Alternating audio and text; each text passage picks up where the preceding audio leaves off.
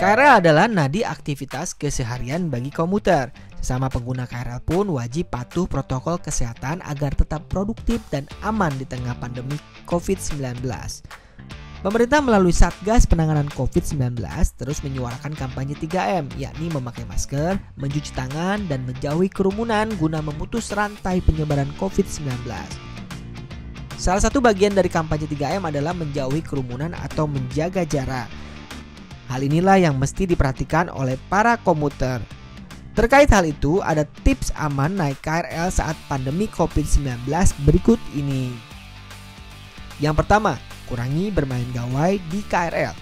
Tidak berlama-lama bermain gawai saat dalam KRL dapat mengurangi intensitas memegangnya.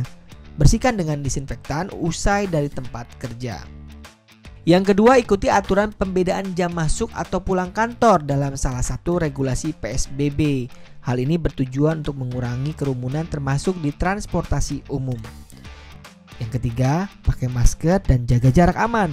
Kampanye 3M wajib dipatuhi pada kondisi apa pun termasuk di KRL. Yang keempat, kurangi interaksi percakapan dalam perjalanan. Apabila menjumpai hal genting bisa meminta bantuan petugas yang sedang berjaga. Yang kelima, gunakan hand sanitizer setiap naik atau turun dari KRL. Pintu atau gagang KRL adalah benda yang paling sering disentuh penumpang. Setiap komuter pun pasti menyentuhnya entah disadari atau tidak. Untuk itu wajib menggunakan hand sanitizer setiap naik atau turun dari KRL meski merasa tidak menyentuh apa pun. Pandemi memang mewajibkan siapa saja untuk waspada.